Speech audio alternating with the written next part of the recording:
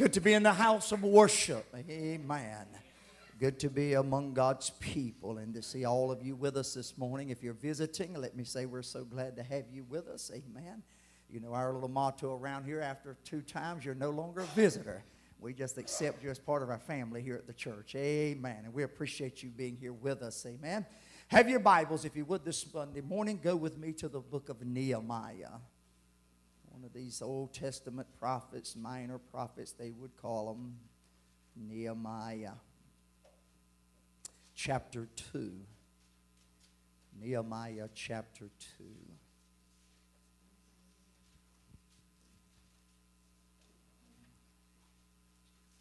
I'd like to read verses 17 through 20 this morning. I pray that you will be blessed of the Lord this morning. Amen. Through the preaching of the gospel. Amen. You know, the Lord chose this, amen, through the foolishness of preaching, amen, to confound the wise. Verse 17 of Nehemiah chapter 2. Then said I unto them, You see the distress that we are in, how Jerusalem lieth waste, and the gates thereof are burned with fire. Come, let us build up the wall of Jerusalem that we be no more a reproach. Then I told them of the land of my God, which was good upon me, as also the king's word that he had spoken unto me. And they said, Let us rise up and build. So they strengthened their hands for this good work. But when Sanballat the Hornite, Hornite and Tobiah the servant, the Ammonite, and Geshem the Arabian heard it. They laughed us to scorn and despised us and said, What is this thing that ye do? Will ye rebel against the king? Then answered I them, I like the answer that Nehemiah gave, and said unto them, The God of heaven, he will prosper us. Therefore, we his servants will arise and build but ye have no portion, nor right, nor memorial in Jerusalem. In Matthew 19 and 26, with men, this is impossible. But with God, all things are possible. How many believe that this morning? Father God, we honor you this morning. We love you, Jesus. We thank you, Lord once again for this great privilege, for this great opportunity that you've given us this Sunday morning, Lord, to come into your house. To gather together, Lord, for a time of worship, for a time of calling upon the name of our Lord and our Savior, Jesus Christ. And I ask you this morning, Lord, to lead us, to guide us, and to direct us. Lord, take control of our mind, our thoughts, our body, our intellect. Take charge of all things this Sunday morning, Lord. That when everything is said and done, Lord, it'll be for your glory, for your honor, and for your praise. Holy Ghost, use us now as a vessel and a tool in the hand of the carpenter. Let us be a blessing to your people this morning, Lord. And I pray today, Father God, that through the preaching of the gospel, that lives would be changed this Sunday morning. That men and women would realize, as our brother taught in the Sunday school class, that they can be saved this morning, regardless of who they are, regardless of where they came from. That all men can be saved this morning and come to the saving grace and the saving knowledge of our Lord and Savior Jesus Christ. And Lord, when it's all said and done, we'll be careful to give you all the glory, the honor, and the praise, for we ask it in Jesus' name. Shake a few hands and tell them it's good to see them in the house of the Lord.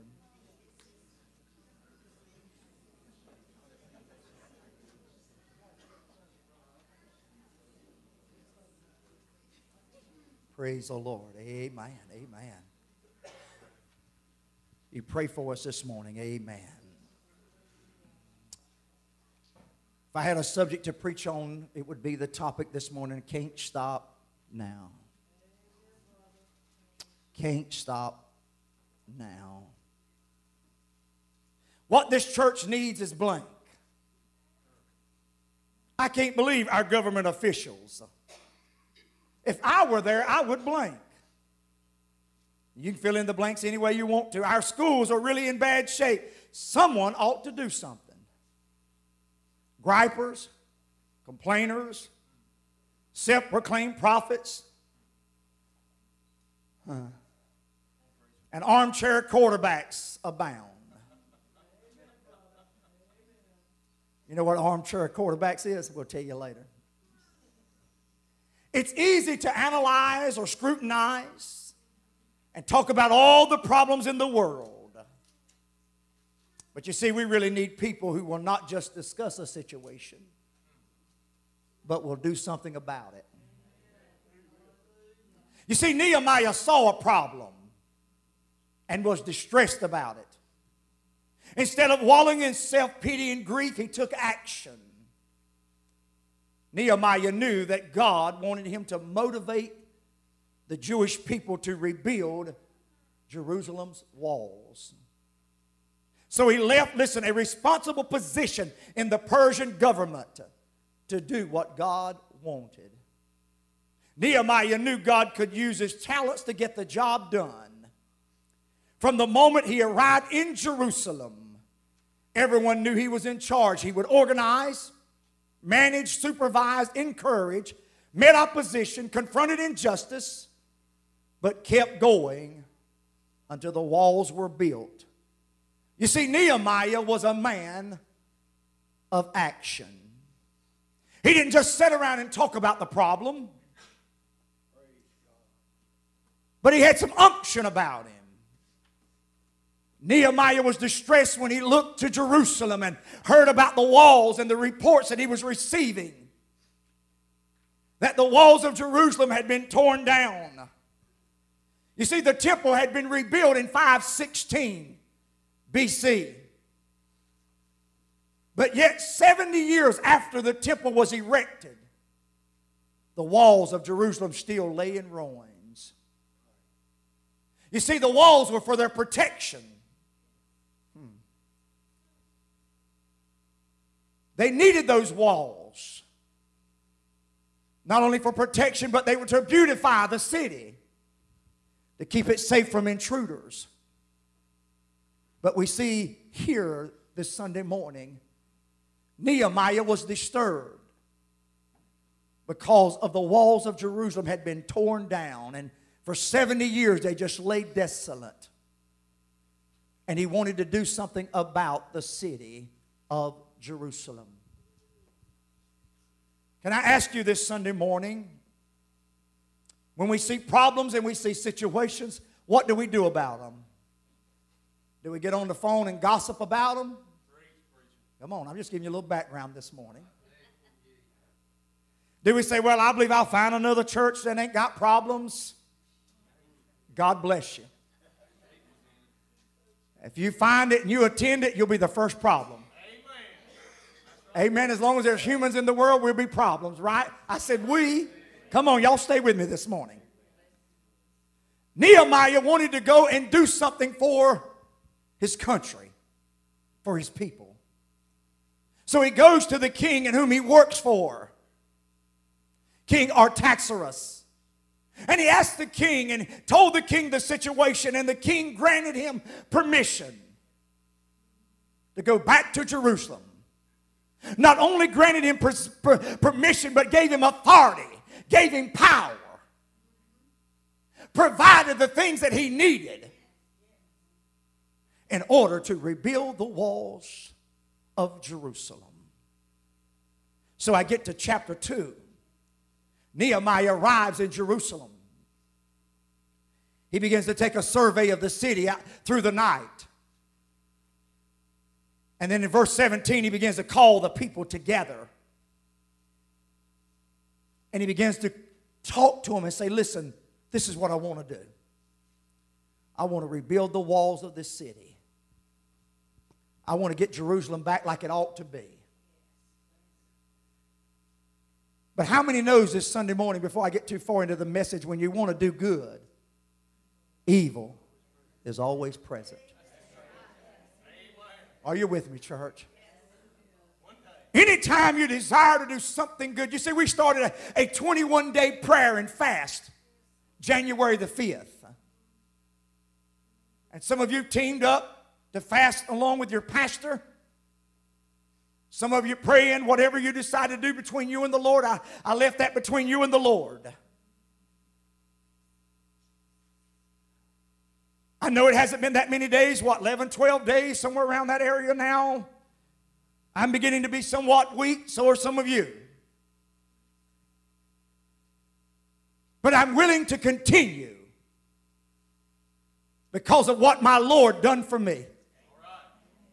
What we're doing for these 21 days is not a drop in the bucket to what our Lord and Savior Jesus Christ did for us at the cross of Calvary. When he bled, he died, and he gave up the ghost that you and I could have a right to the tree of life. So when you get hungry, when you get weak, say, Lord, I'm doing this for your glory, for your honor, and for your praise. And I can't stop now. Nehemiah realized that in doing this, he would face opposition. Anytime you do something good for God, the devil wants to keep us from doing it. And he'll bring every opposition that he can. I'm taking my time right now. He'll bring every opposition to try to keep us from doing what we need to do for the Lord Jesus Christ. You see, this is a brand new year, 2017. We're in the 15th day of, the, of January of this year.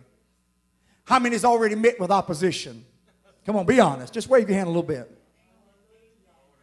You've already met with problems. You've already met with situations and circumstances. Huh? But you realize in your spirit, preacher, I can't stop now. I, can I tell somebody this morning, we're too close to going home now. Hallelujah. In order to stop now, I just can't stop. Uh, I've got my man made up. Uh, I got my foot on the rock. Uh, I'm looking unto Jesus, the author and the finisher of my faith. I'm standing on the promises of God. Amen. Because I can't stop now. I've got a work to do. You've got a work to do, ma'am and sir. You've got a work that God has called you to do. And there's no time for hesitation. There's no time for distress. There's no time to stop. Man, I got to keep going. Uh, I got to keep looking to Jesus. Uh, I don't have time to look back. Uh, I don't have time to play games. Nehemiah said, I've got a wall to build. Let's look at Nehemiah just a minute if we could. Nehemiah said, Listen, we got a work to do. So they strengthened their hands for this good work.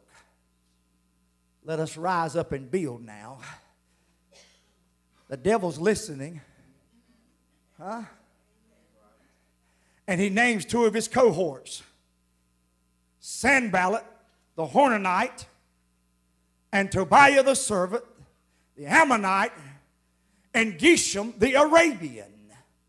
Heard it, found out what Nehemiah wanted to do, and they laughed us to scorn, despised us, and said, What is this thing? They even went a little bit later on in the chapter and said, Man, if you build this wall and a fox go up on it, it'll fall down. Huh? In other words, they said, Man, you can't do this, Nehemiah. Huh? There used to be an old show out some many years ago when I was a young boy called Smokey and the Bandit. Huh? I used to have a Camaro. T-top, wheels, and all that stuff, just like old Smokey drove. Huh? Drove at many parades, all that kind of stuff, you know, nice, nice vehicle. But he had a saying in there. He said, We're going to do what they say can't be done. We got a long ways to go in a short time to get there. I'm eastbound. Just watch old bandit run. Y'all remember that? Come on. Y'all older than I am. Amen. Oh, Smokey the Bandit say, we're going to do what they say can't be done. With men, this is impossible.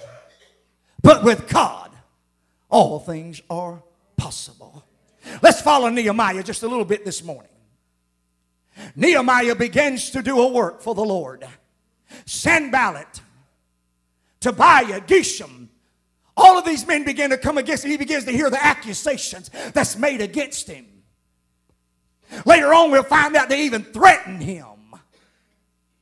But Nehemiah, the Bible said, had a mind to work, had a vision from God. And he got a group of people together and he began to encourage them in the Lord. How many need encouraging every once in a while in the Lord? You're here this morning. Some of you might need encouraging this morning. I do. Amen.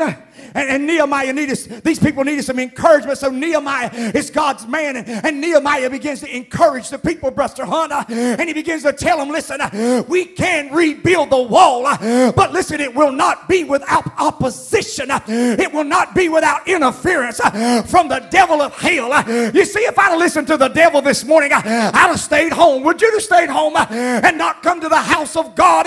But I had a mind, and my mind was made up Uh, my foot's on the rock uh, and I'm looking to Jesus. Uh, I know the author and the finisher of my faith. I know my Redeemer liveth and is alive forevermore. I wish I had about 10 people in here that would just stand up right now and say, I know him, preacher. I serve him. I'm committed to him.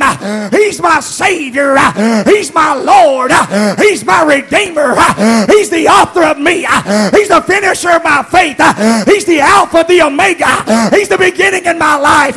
He's the ending in my life. I know him as the rose of Sharon. I know him as the lily in the valley. I know him as the bright in the morning star. I know him as the judge of all the earth. He is the great God of glory. Do I have anybody that knows him in the Chadbourn church this morning?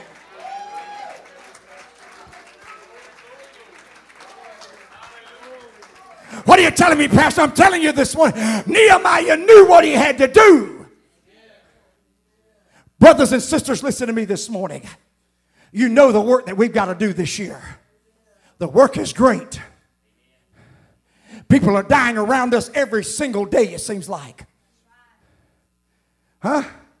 I thought about Sister Lisa this past week. 52 years old. Died on her birthday. Fell dead. Went out into eternity. You see, we never know where death is. It's once appointed unto man to die, and after death will come the judgment. We don't know where death is this morning, children of God. So we need to work with all of our might, with all of our strength, and with all of our power in the year of 2017. What are you telling me, preacher? We've got a great work to do. And the devil's trying to stop each and every one of us. And he does it through many different ways. Sometimes it's through our family. Are you with me? Sometimes it's through our job. Huh? Sometimes it's through our children. Huh? Sometimes it's through our health. Come on, y'all stay with me this morning. There's a lot of ways that the devil can bring opposition to us, amen, and try to get us to stop what God has called us to do. But you see, Sister Shirley, I found out something about the devil, amen. I, I, I got a little knowledge about me, you know. I, I told somebody this week about wisdom, you know. I, I said the Bible talks about a hoary head. That's a man of gray hair, you know. I said I got a plenty of it, amen. Hallelujah. But what I'm telling you is this morning, is I've become aware of the devil's tactics, Brother Hunt. Amen. I, I've been around a little while. Amen. I've been around the fence a little bit and I found out something that the devil is sly, the devil is cunning, the devil is crafty, and he used different devices and different techniques, Brother Jamie, to try to get me to stop. But after a little while, I wise up to the devil's enemy. I wise up to his tactics, and I realize it's nothing but an enemy from hell uh, that's trying to stop me. Uh, and I say, No, sir, uh, I'm not going to stop. I'm too far now. The game is just about over. I'm about come to the end of life's way. I said, like the fellow said, I can see the light at the end of the tunnel. I've just about run my last mile home, and there's a great celebration awaiting around God's throne. Do I have anybody whoa, that knows Jesus Christ that's been born again, Uh, that's been washed in the blood, uh, that knows the devil's tactics? Uh, but you got a made up mind and you're willing to go all the way regardless of the cost.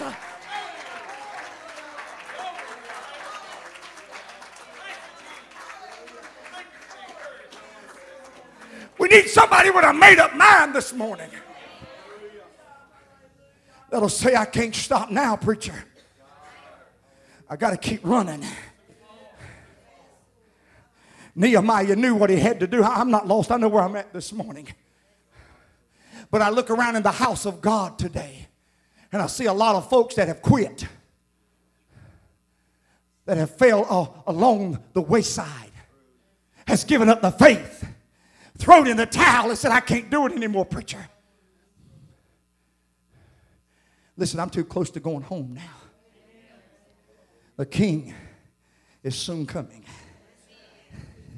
I believe the father's about to look at his son shortly and say, Go get my children now and bring them home. Huh? Nehemiah said, I can't stop. He heard the threats from the devil's cohorts. And when they asked him, What are you going to do? He said, Listen, the God of heaven, he will prosper us. Therefore, we, his servants, will arise and build. Hallelujah. Hallelujah. You see, he thought maybe he was going to rebel against the king.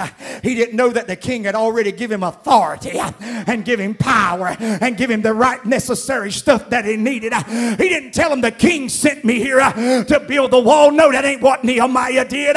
He said, Listen, I'm going to tell you something. The God that gave me a vision of the wall being rebuilt uh, is the same God that sent me here. Uh, I want to tell the devil of hell the reason I'm in Chadbourn, North Carolina it's because God Almighty uh, sent me here 20 years ago. Uh, and if I'd have listened to the devil, uh, I'd have been run off a long time ago.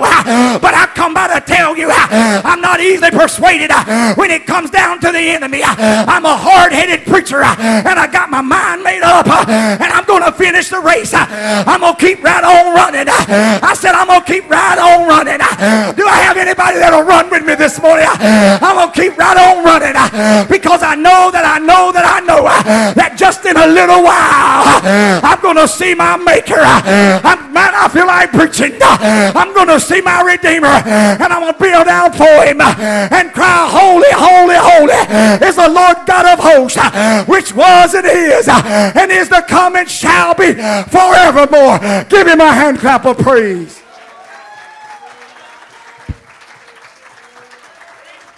Can't stop now. Got my mind made up now. Huh? Got to finish what I started. You see, we got in the church nowadays, we got a lot of procrastinators. They talk a good talk, but they can't walk the walk. They put on the boxing gloves and don't even know how to fight. Are you with me? Huh? They look good. They even smell pretty good. I'm telling you, they don't know how to fight. Huh? That's why I like old Rocky. Y'all know I'm a Rocky fan. Southpaw. Old Rocky, his first match, he didn't know how to fight. He jumped around like a frog. Didn't know how to move, couldn't dance. Come on. Y'all with me? But he had a bad left hook. And he had a made up mind that he was going to go the distance. He said, I may not beat him, but I'm going to go the distance with him. Huh? And when it was over, the opponent grabbed him and hugged him around the neck, said, There won't be no rematch. What are you telling me, preacher? He knew from the get go he was the underdog. Stay with me. According to this world, you and I are the underdogs. We are a minority, aren't we not? Huh? The world's the majority out there today, folks. And they talk about us. I heard what the preacher said when he walked up on the platform this morning to put the little thing back up up here. He said, "Listen, people talk about our God, and we say, oh yeah, maybe maybe that's right. When are we going to get a backbone and stand up and say, wait a minute, that's my God you're talking about? That's my God you're defaming. That's my God, and I don't have to hear your trash. Hello? Boy, y'all looking at me funny now. I, I ain't fell off the turnip truck. I know right where I'm at. Huh?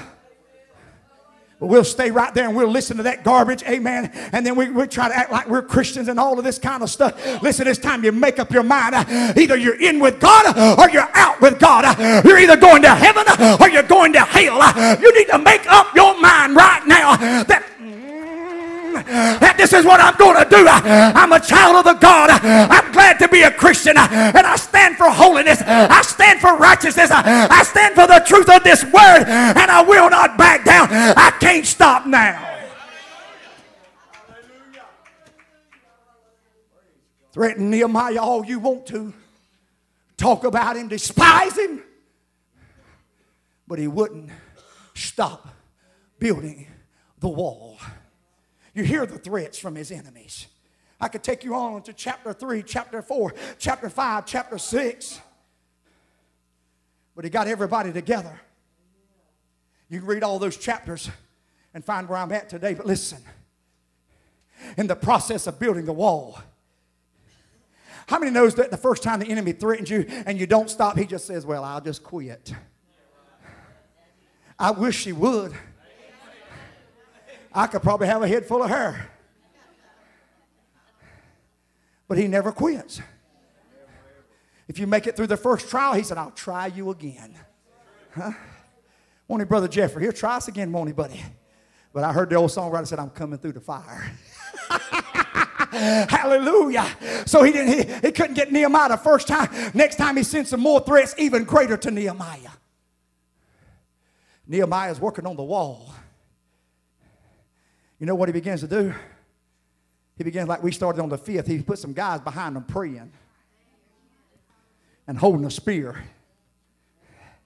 And they stood over one while he got down on his knees and he worked on the wall. The other stood over him with a sword and spear for his protection. And they were spread out on the wall. And Nehemiah, read it in there, he said, Come together. We need to be closer together if the enemy attacks.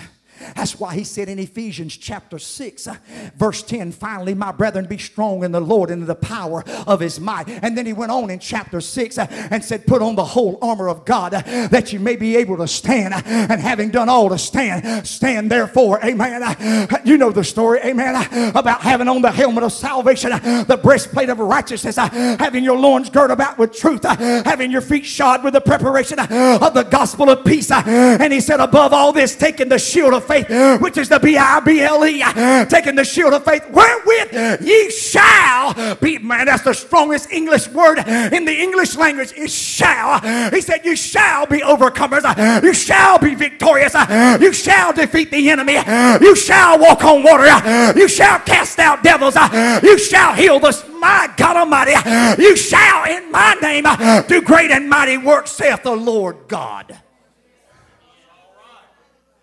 feel like preaching this morning. I was weak when I started, but He's giving me some strength now. What are you telling me, preacher? Nehemiah said, Come on in, boys, in case the enemy attacks. We're going to be ready from all sides of the enemy. Doing what we're doing right now, the enemy is mad with us. Are you with me? He don't want us to do what we're doing to set the stage and set the tone for this church year in 2017. He don't want us to fast. He don't want us to go without meals. How many found out that's hard to do? Huh? Some of you on the Daniel fast. You know how hard that is to do without meats, drinks, sweets, and bread. Just live off of vegetables. I'm so sick of vegetables, I don't want to see another vegetable. Say, what you living on, preacher? This H2O, that's good stuff right there. Mm. I'm telling you, God will sustain us. Huh? What you going to do, Nehemiah? We're going to build this wall. If you go on further in the chapters, you'll find out that was at the end of the devil's tricks. He began to send letters to Nehemiah on four different occasions trying to invite him to a banquet and all this kind of stuff. But you see, Nehemiah was a smart man. When they brought the letters to him, he said, Listen, I don't have time for this. Can I just use my words? I ain't got time for the devil's foolishness. Amen, Brother Kim? I don't have time for the devil's foolishness. And Nehemiah wouldn't come down off the wall, and they kept sending letters to him and threats to him, uh, threatening his character, even told him uh, he just wanted to be king over the people. That's all he wanted to do, and set himself up as some kind of God. And Nehemiah declined that as well. Uh, no, Nehemiah had a vision for the work of God. As your pastor in 2017, I've got a vision for this church this year that God's going to fill the house. Amen. He's going to bring them from the north, the east, the west, and the south. He's going to speak to them and they're going to come from every corner of the earth. Uh, do you really believe that, preacher? I believe this Bible uh, and I believe God's word. Amen. Uh, if we'll stand true and not stop the work of God, but keep right on building on the wall and not come down. Keep on teaching Sunday school if God's called you to teach. Keep on singing in the choir if God's called you to sing and you got to sing right by yourself, honey. Just keep right on singing. Whatever God's called you to do, do it as unto the Lord and do it with all your might and with with all your strength.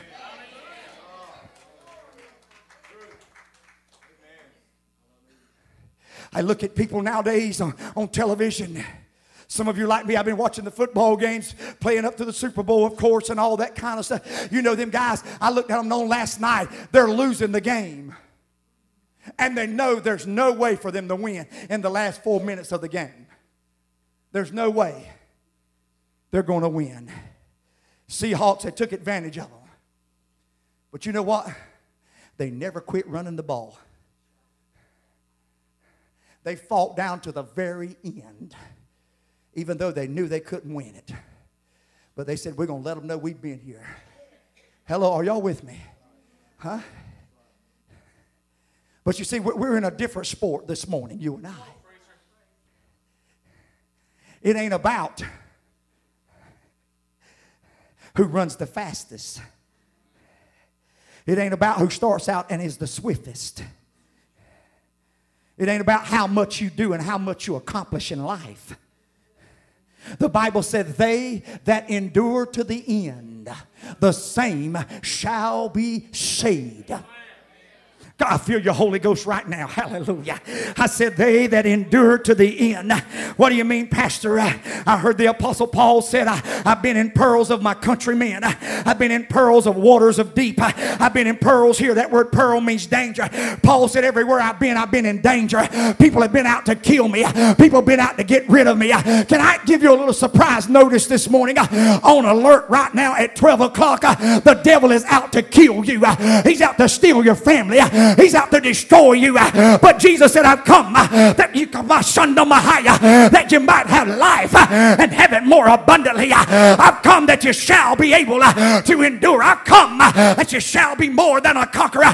You see, I'm an overcomer this morning. I'm victorious, Brother Kim. I'm not a loser. I'm not a quitter. I'm not down and out. I'm excited about the Lord Jesus Christ. I've got on the whole armor of God, Sister Anna, and I know I'm in for a fight, and I'm ready this Sunday morning. Come on, devil, if you will. I got my tamabakotaya. I'm ready now. I'm suited up. I'm ready for the battle, Brother Jamie, because I know that I know that if I'm going to win this battle, I've got to fight to the very end of this race.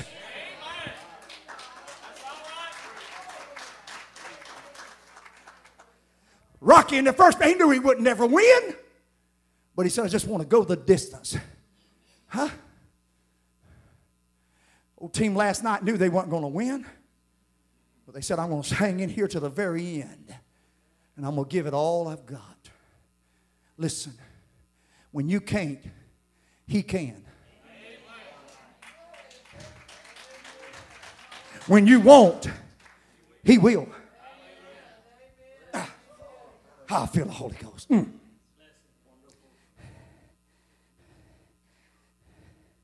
You know what I told my wife yesterday? We were sitting and talking.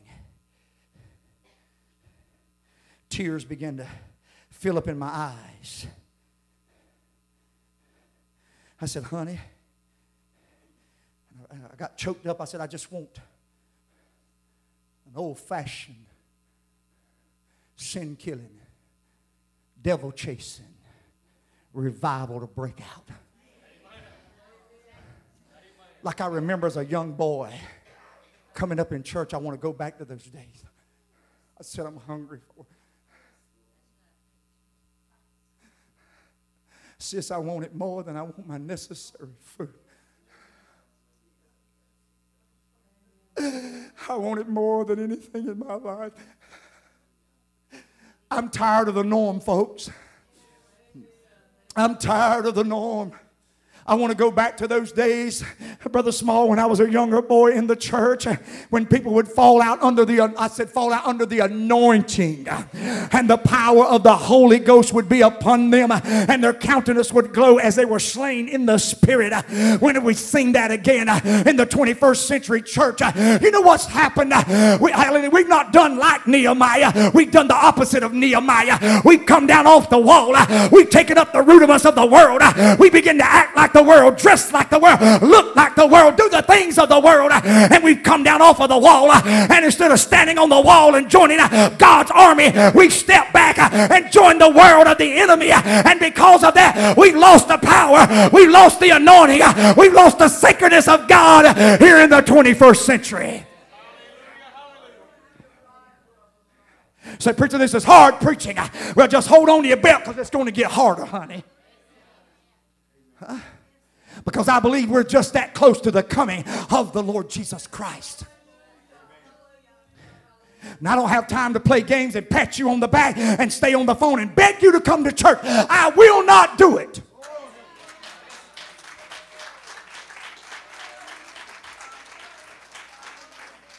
My wife said this week, Are you going to call so and so? I said, No, ma'am, I'm not. I'm tired of begging grown up people to come to church. Hey, listen, I'm not being mean and ugly this morning, but if you want to go to hell, goodbye, good riddance.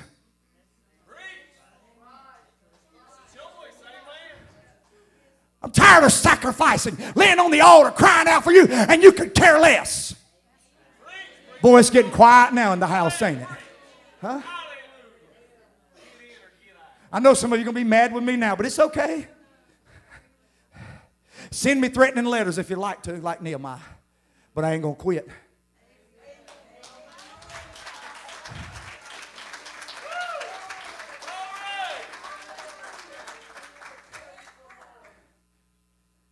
Can't quit now. I'm not going to keep begging people to come to church. I told my wife, I said, whoever comes, comes. Huh? When we get a vision like Nehemiah had, you won't have to beg people to come to church. Amen, preacher. Amen, preacher. Huh? They'll, they'll show up. Hallelujah. They'll be there before time to start church. They won't arrive a minute till 10. They won't come in at 20 after 10. They'll be here at 20 till 10. Hallelujah. They'll come early and say, Preacher, I say, My God, because I'm always over here early at the church. And, uh, and I'm, I mean, I'm surprised when somebody joins me early. Amen. Because when they join me early, I know something is up. Praise God. Uh, they either want to talk to me about somebody else uh, or they want to tell me some good news. Amen. It's one or the other. It's either for the Lord or for the devil. You might as well tell the truth, preacher. Tell it like it is, preacher. Hey, man. Hallelujah. I come by to tell you, I can't stop now. Listen, I done made up my mind, Brother Jeffrey. If my family don't want to go with me to heaven, if my husband and wife don't want to go with me, I'm talking to somebody here this Sunday morning. If you done made up your mind, if they don't want to go, it's not going to stop you. Why? Because you're going to keep right on going. You're going to keep right on marching to the beat of the drum because you want to see Jesus Christ, the one that died for you. Do I have anybody in here that's got your mind made up? And you're not going to stop? Come on, I'm talking to somebody in 2017. Give him some worship. Give him some praise in the house of God. I want you to be real bold with me just a minute. Stay, keep standing, keep standing, keep standing. I want you to be real bold. I want you to tell the devil, I'm on the wall and I ain't coming down. Now give him a shout of praise.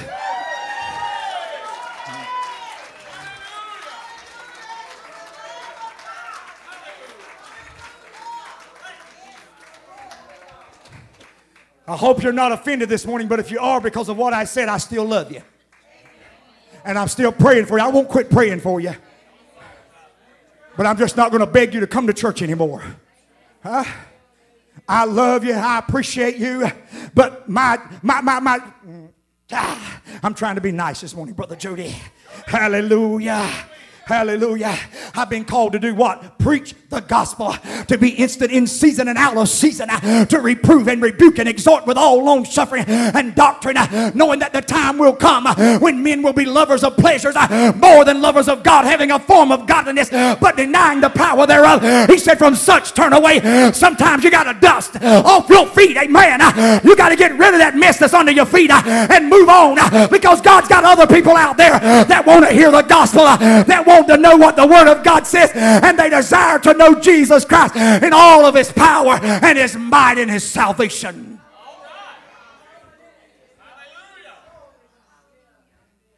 In 2016, I spent my wheels a lot begging people to come. I ain't got time for that this year. If there ain't nobody but a handful of us left. My description is a pastor, not a babysitter.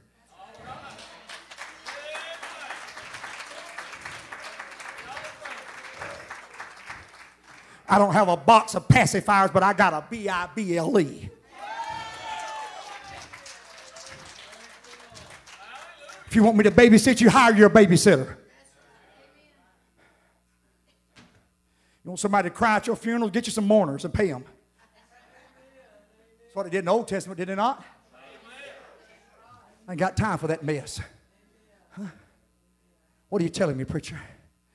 Nehemiah, after receiving all these threats and doing everything that the enemy could to stop him, he kept right on building the wall. And you know what happened? He successfully completed the wall in 50 and two days. Read that in chapter 6. Huh? Now, you're talking about a miracle. That's a miracle from God.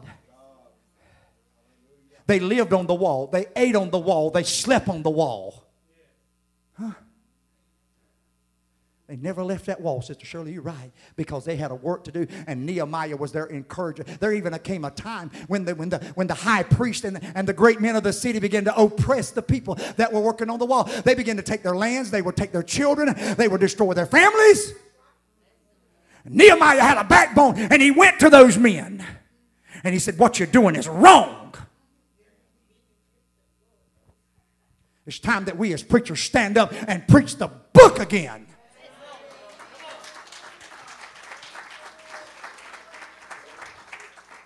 It's time, Sister Ann, that we be men and women of the cross. Huh?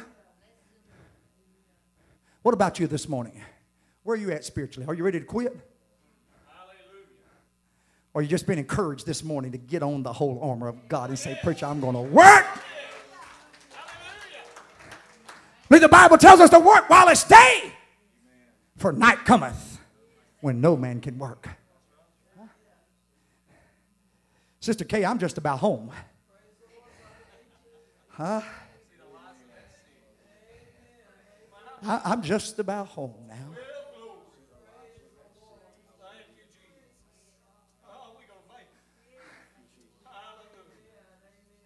Heaven sounding sweeter all the time.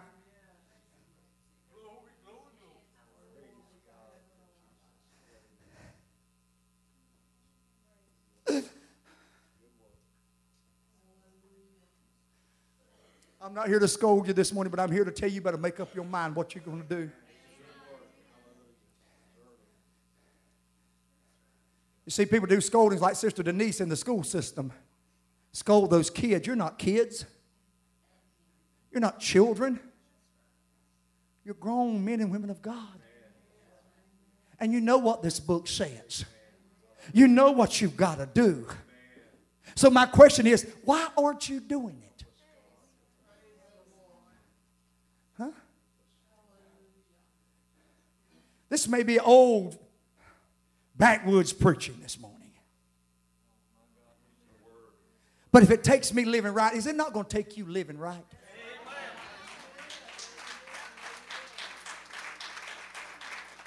Huh?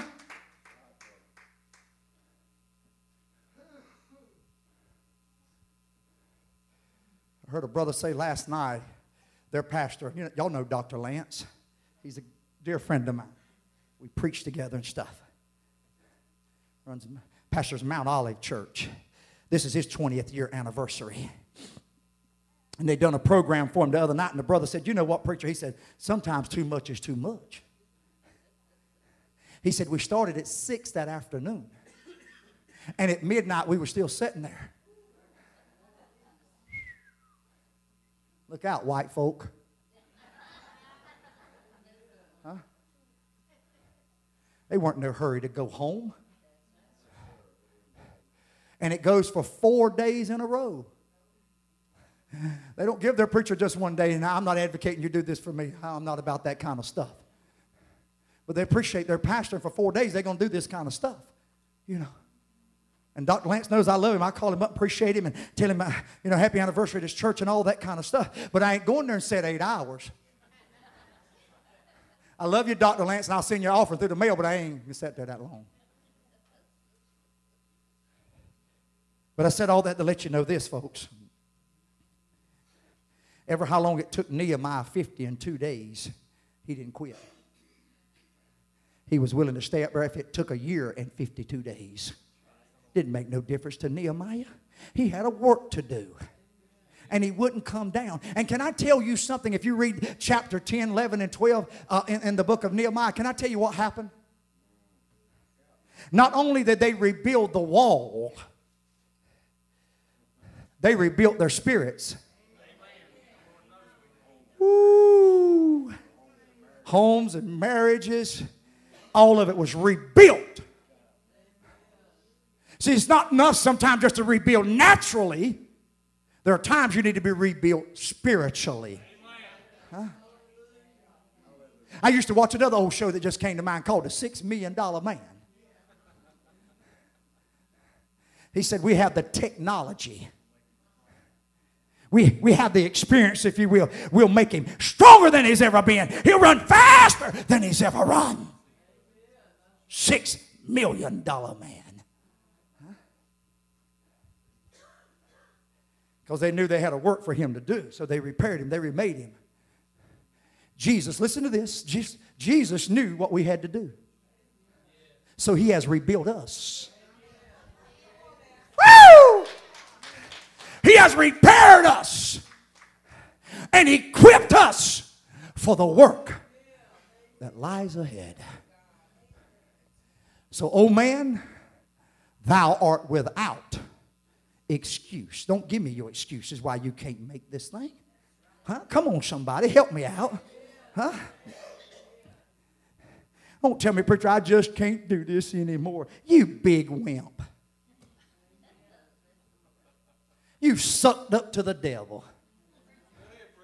Hello, can I just be honest in my spirit this morning? It's a new year. I'm a new man. I'm excited for the Lord. Huh? You can make it, honey, if you want to make it. You can make it, sir, if you want to make it. Teenager, you can make it if you want to make it. I remember coming up at Scotland High School, I was one of the shortest people around that area. I don't know what happened. My brother's taller than I am. I'm just short. And I feel like the underdog a lot of times. I've always had to fight for everything. I knew how to fight physically in school, and I'd do that too. But one year I wanted to play football. My mom was against it because I was so little. But through the years, I had learned how to run really fast, getting away from them bigger boys. Huh? How you doing, Brother Terry? Good. And so I wanted to try out for the football team. And I done everything. I hit the gym every day, pushing those leg extension machines, doing benches and curls and bicep work and back work. Man, I just wanted to be in the game. Just let me play, coach. Let me play. I killed myself till I made the football team. And then one day it wasn't good enough to make the team. I said, I want to play, I want to play, I want to play, coach. You're so little, boy. I don't care, I want to play. I'm like Rudy. Thank you, Lord, for all these movies you're giving me. Y'all know that story of Rudy? Rudy wanted to play. He didn't care how bad he had to lay in ice. He had to lay in bags and water. He didn't care after practice. All he wanted to do was play in the game one time. That's all I wanted to do was just play. To put on a Scotland High School uniform and mount up against Richmond County. That was our rival team. Big 4A school, we were 2A school. But I got to the point I could play pretty decent. Brother Hunt, and they put me running back because they realized I could run the 440 pretty quick. Carry that football. I've been hit and turn all kind of flips up in the air. Hurting. But I stayed with it. Why? Because that's what I wanted to do. What's that all got to do with this preacher? If you want to make it to heaven, you can make it. You just got to make up your mind. And everything the devil throws against you, just jump over the hurdles. Get your mind made up. Get your priorities right. Can I be mean one more time? You can't make it staying at home when church is going on. Huh? I'm just going to be honest with you. I'm going to share my heart. It's 2017. Some of y'all got real slack on Sunday nights. Jobs come first and everything else is coming first. And you've got even slacker come Wednesday nights. Time for Bible study. Boys, get quiet now. Them that's clapping is the faithful few. Huh? Preacher, boy, you didn't have to go there. You just cut me hard, didn't you? Yeah, and he can sew you up. Won't even leave no stitches. Something's wrong. We want to get close to God and we want to make it to the home field. I'm talking about heaven. But yet we ain't made up our mind enough to get out of house when we got a headache and come to church. Huh? But I can call you on Monday morning and leave your message. You know why? Because you at work. Boy, preach, preacher, boy, you're doing good now, boy. Huh? Oh, you lay out tonight, I got your number. And I'll call you tonight. If it takes me to midnight to call you, I'm going to call you anyhow. Huh? What are you telling me, preacher? I'm telling us this Sunday morning. Nehemiah wouldn't stop no matter what happened what kind of threats they came against his deity or his, his character, if you will. They came against him personally, physically, in every way and tried to stop Nehemiah, but he wouldn't stop. And in the end, they had revival. Between Nehemiah and Ezra, they had revival in the land. And the people were brought back together. Why? Because of one man's vision. I'm not here to preach to myself after 20 years. I'm here to build this church and help you to grow in the Lord Jesus Christ. Huh? I ask you this Sunday morning, do you have your mind made up really? Huh? Some of you and some of you wanted a position higher than where you were at. You broke your back to get to that position. And then bless your heart, when you got it, you didn't want it. Amen. Because you found out money ain't everything. Huh? Solomon had everything. But if you read about him, he'll tell you one thing gain all this. If a man gain the whole world and lose his own soul, what shall he profit? Solomon realized in the end, without God, all is vanity and vexation of spirit. He realized something, my brothers and my sisters, this morning. That without God, everything he accumulated amounted to zip. You bust your back if you want to for, the, for your employer. And I, I believe in the honest day's work. I understand that. But when you go over, above, and beyond, listen, I got news for you. When you can't do it no more, they'll kick you to the curb, honey, and replace you with somebody else.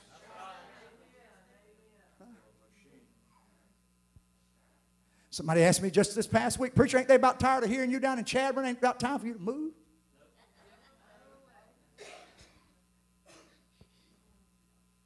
Said, Well, about every seven years, God gives me a new crop. I keep good records for the church, you know, and I'll go back through my records. And about every seven years, God will weed out some, and He'll bring us in a new crop. Are y'all with me? Huh? I don't know what year I'm on yet, but it's probably getting close to it. God will weed some out, and He'll bring in some more. Y'all know what seven is, don't you? Number of completion. Preacher said three sevens are 21. What are you telling me, preacher? That made good sense. 21. I'm on my 20th year. I told you I was getting close. What are you telling me, preacher? Let's don't quit church on the Lord. Huh? Listen, can I, can I just slow down here and tell you this ain't the perfect church? By no means. Because I'm your pastor and I got faults. You're the congregation that God has given me, and you got your faults. Because some of you I wouldn't live with two days before I kicked you to the curb. No, I'm just kidding. I love all of you. And you wouldn't live with me for one day. Huh? I don't know how my wife's put up with me. This coming Tuesday, we start 35 years of marriage. 18 years old when I met this young lady. Dated her for two months, and I said, or she said, you can ask her. It's the truth. She said, Will you marry me? Well, she knew what she had. Woo! Y'all believe that if you want to. She'll tell you different. She's in the nursery this morning.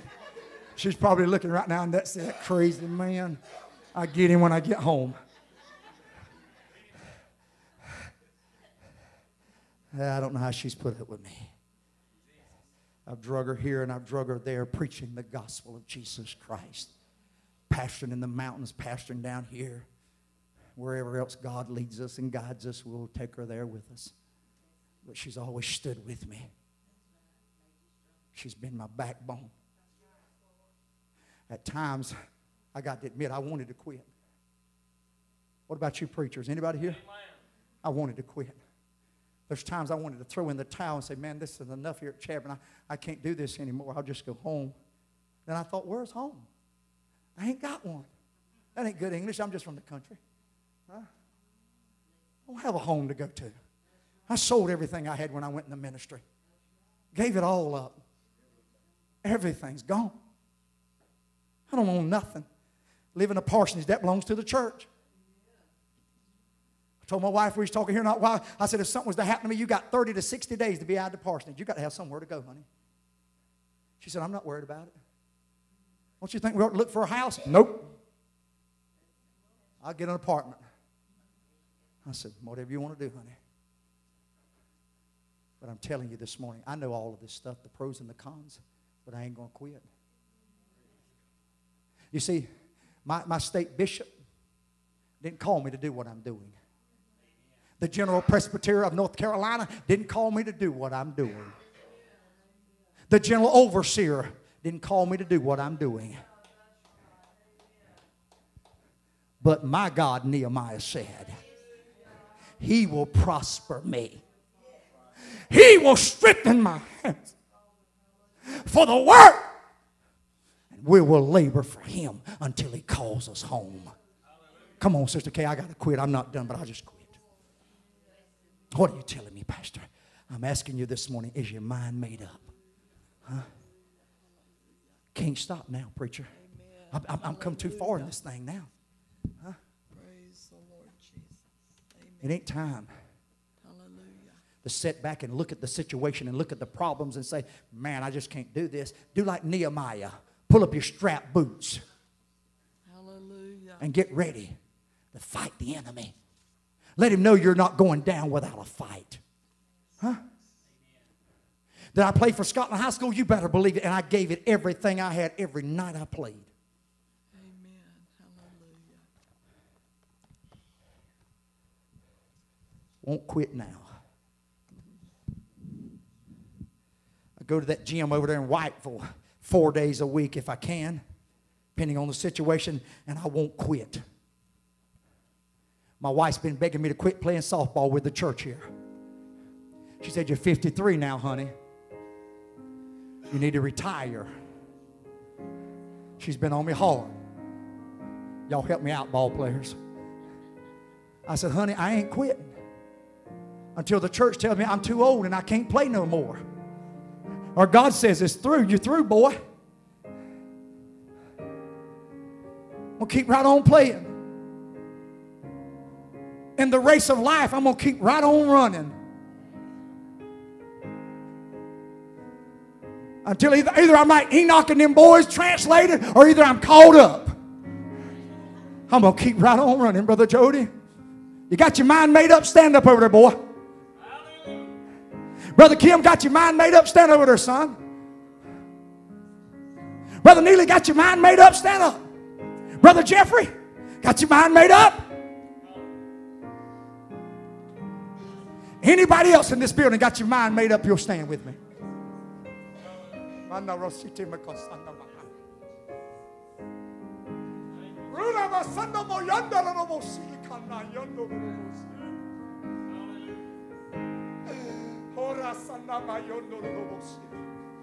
Got my mind made up now, Lord. You say, Preacher, you're giving the devil an open invitation to fight you tooth and nail. He's already doing it anyhow. Come on, somebody. I said, He's already doing it anyhow. So why not get ready and fight him tooth and nail? I thought about this week, Brother B. I'm just going to walk right in the enemy's camp and I'm going to take back what the devil's taken from me. Some of you, he's taking your health, he's taking your families, he's taking your prosperity, he's taking even your dignity. Why don't you take it back today?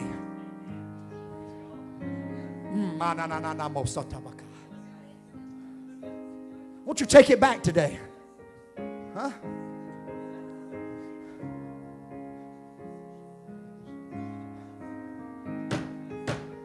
Run into a lady this week that used to sit right here on this second row.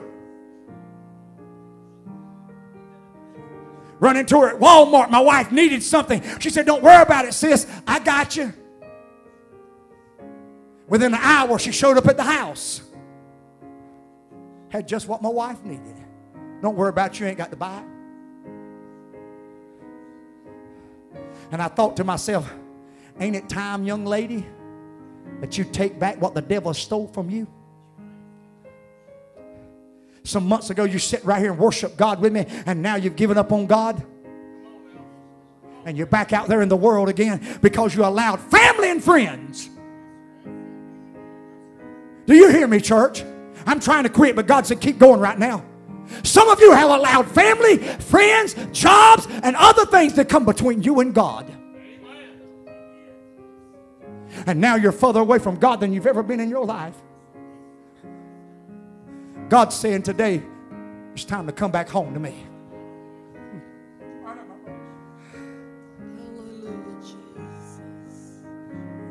It's time to come home. It's time to make up your mind. I'm not going to give an altar call, but I'm going to ask you a question. If you can answer this question, then you can come. If you've made up your mind this Sunday morning, preacher, I'm going to do whatever it takes to make it with the Lord Jesus Christ. This altar is open for you. If that's you, this altar is open for you. It's open for you. Whosoever will. In this church, we just love everybody. We love people for who they are. Not about your past, not about what your last name is. It's about your relationship with the Lord. It's about are you ready to make it? Come on. Keep filling the church. Keep filling the altars. Come on. There's plenty of room at the cross. Plenty of room at the cross. If you're not physically able to come and kneel, just pray at your seat. Pray at your seat, but I'd love for you to come this morning. Come on, there's room. There's room. There's room. Pray, church. Make up your mind. Preacher, I, I'm going to make a promise to God this morning. I'm going to promise God I'm going to make this thing. Hallelujah. Praise the Lord. Hallelujah. Hallelujah, Lord. I'm going to make it. I'm going to make it, Lord. You're my only hope. You're my only help. There is no salvation in any other. My, my, my, my. Husbands and wife, yoke up together this morning. Yoke up together, husbands and wives. Make up your mind. We're going to make this marriage work. We're not going to let it die. We're not going to give in to the devil. We're not going to divorce. Make up your mind. Yoke up with your children. I'm not going to let you go to hell. If you go to hell, it's going to be over my prayers and my body. Make up your mind this Sunday morning. Do like Nehemiah. You stand for the Lord, He'll bring revival in the camp. He'll bring an anointing in the camp.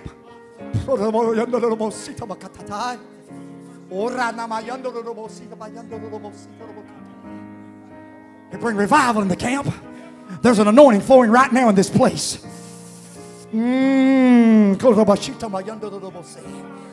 There's an anointing in the house. Jesus is in the house. Jesus is in the house. Jesus is in the house.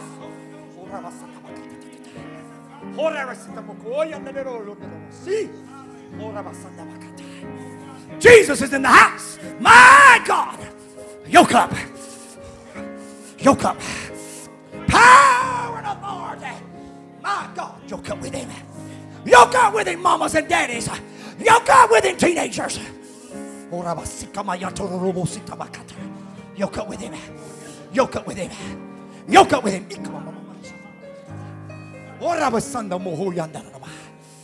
Yoke up with him.